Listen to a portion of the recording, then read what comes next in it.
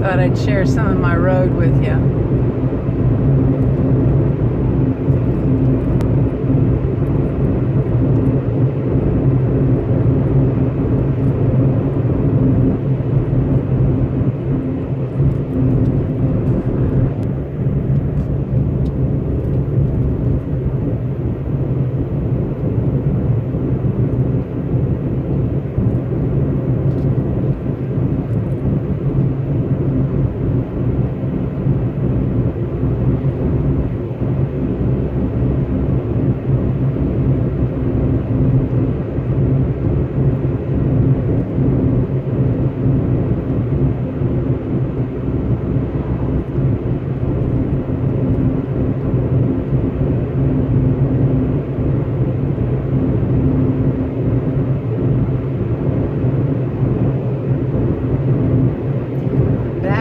Roads of Ohio.